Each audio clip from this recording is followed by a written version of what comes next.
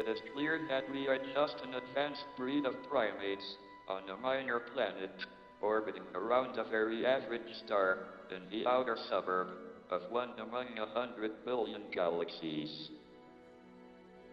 But ever since the dawn of civilization, people have craved for an understanding of the underlying order of the world.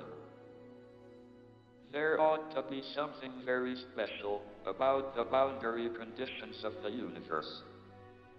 And what can be more special than that there is no boundary? And there should be no boundary to human endeavor. We are all different. However bad life may seem, there is always something you can do and succeed at. While there is life, there is hope.